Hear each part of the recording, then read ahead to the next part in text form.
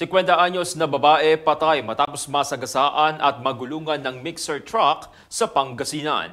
Kalunos-lunos ang sinapit na kamatayan ng isang 50 anyos na ina makaraang mabangga at magulungan ng isang mixer truck sa kahabaan ng Albert Street, Poblacion, Lingayen, Pangasinan habang sugatan naman ang kanyang kasamahang bata sa nangyaring insidente nitong biyernes. Kinilala na pulisya ang nasawi na si Guillermo Pidloan Muñez, 50 anyos residente ng Basista, Pangasinan, habang ang sugatang bata ay nasa siyam na taong gulang. Sa lakas ng impact at pagkakasagasa ng mixer truck, dead on the spot agad ang biktima dahil sa tinamong mga sugat sa ulo at katawan. Samantala, nakaligtas naman ang apo nito ngunit nagtamo naman ng sugat nakita sa mga larawan ni Russell. Lumalabas din sa investigasyon ng pulisya na wala ng control ang driver ng mixer truck na sumagasa sa mga biktima. Kinilala naman ng driver ng mixer truck na si Melicio Elefanyo na agad naman sumuko sa mga otoridad. Sa ngayon, naharap sa kasong reckless imprudence resulting to homicide, physical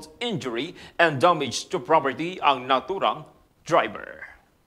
At yan ang ating newsfeed of the day. Ito po si J. Pamintuan. Magandang hapon.